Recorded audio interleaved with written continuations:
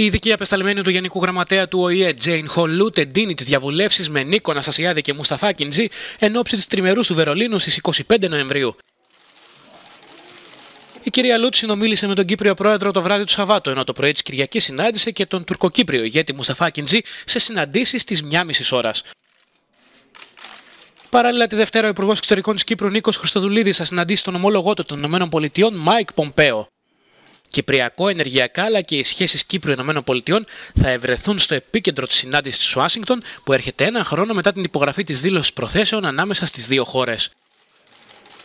Ο Νίκος Χρυστοδουλίδη αναμένεται να ενημερωθεί και για τα όσα υπόθηκαν στην πρόσφατη συνάντηση Donald Trump-Ρετζέπ Ταγί Περντογάν.